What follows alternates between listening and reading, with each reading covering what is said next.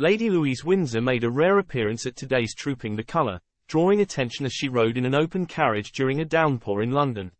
She initially arrived at Buckingham Palace by car with her parents, Prince Edward and Duchess Sophie, before joining Duchess Sophie and the Duke of Kent in a partially hooded carriage. Royal fans noticed Lady Louise's exposed position and expressed their views on social media, noting she seemed unbothered by the rain. Some speculated she chose to sit in the rain to avoid exposing the Duke of Kent, aged 88, to the elements. Despite the weather, Lady Louise looked elegant in a lilac dress she previously wore to the coronation in May 2023.